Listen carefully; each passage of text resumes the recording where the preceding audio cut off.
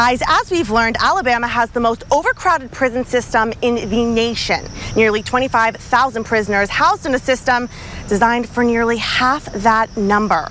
Tonight we take our story here to Montgomery where we look into the politics of a specific prison reform bill that the legislature is seeking to pass. We'll be forced to do it. We don't want to be forced by the federal government to do anything. Prisons in Alabama face federal government takeover if major changes aren't soon made.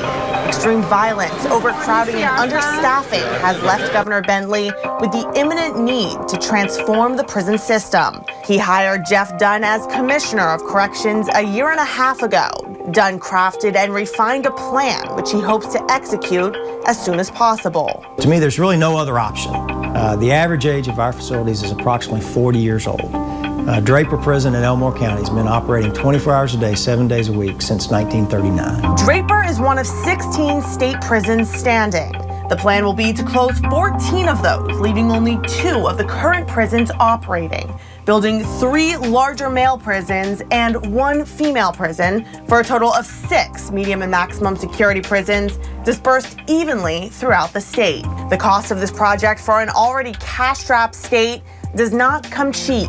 $800 million, measuring up to the second largest bond issue in state history. We're not asking the legislature or the taxpayers to, uh, to give us any new revenue. The initiative may actually save the state money down the road.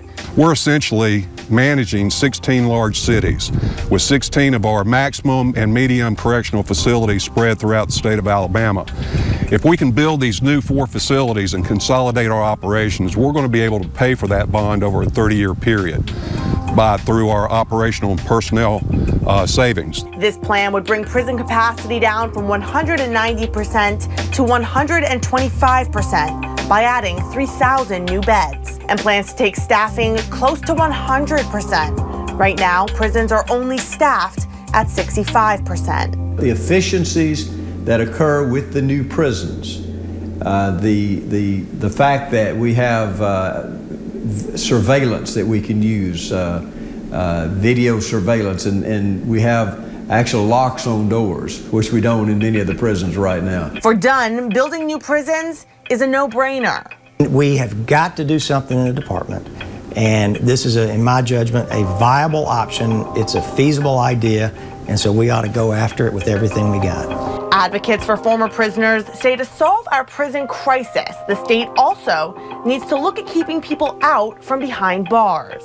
You want to design four new prisons as a means to resolve issues that's been built upon decades and decades and decades. You know, with the dilapidation and all that. I understand that. We need new buildings. But what I don't understand is adding more beds. So if we got an overcrowded situation, you don't tackle or uh, uh, uh, solve that overcrowded situation by adding more beds. You resolve it by locking less people up, not adding more room for people to get locked up. Overcrowding has already led to riots and accusations of neglect and corruption. Commissioner Dunn says it's time to close the door on this chapter of Alabama history. I can't point to it on a time and space, but at some point, something potentially, uh, I, I don't want to say, something really, really bad is going to happen. Should nothing be done, Alabama Governor Robert Bentley can almost promise more overcrowding and violence in our prison system. Now, optimistically speaking, Bentley says should this bill go through, we could be solving a problem for the state of Alabama for the next 30 to 50 years, taking a system from worst in the nation to the best. I'm in Montgomery. Madeleine Hackett, WTVY, your hometown news leader.